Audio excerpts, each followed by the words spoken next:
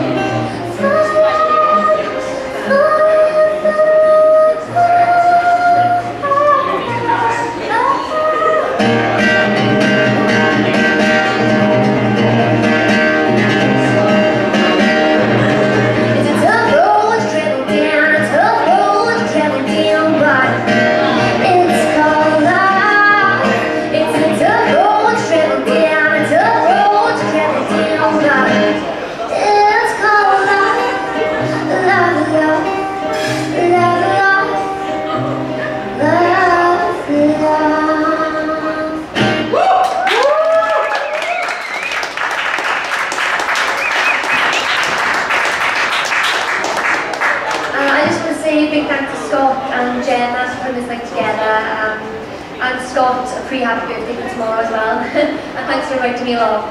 Um, it's been great fun and thank you for listening. Um, um, this is my last song, it's called No More.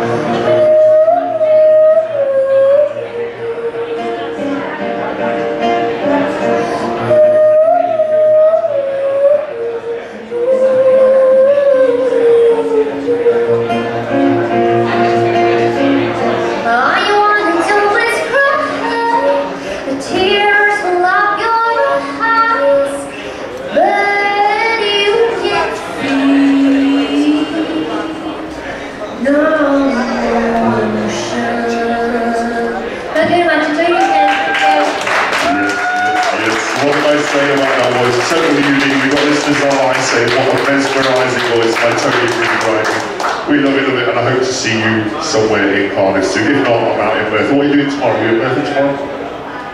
Yeah? You're going to come to the pub night? Oh, that's not your cup of tea. Big round of applause for Bryony, ladies and gentlemen. Yes, yes, yes. Take your applause. Take your applause. So we're going to take our last transition on side music when we come back we're going to have the James, the eighth piece this evening, James Clow Band. So charge your glasses, empty your bladders and get ready to put on your dancing shoes. If you listen online, go to bigscottradio.com, go to the events page and you can find out more about the artists there. We're back a few songs. Thank you.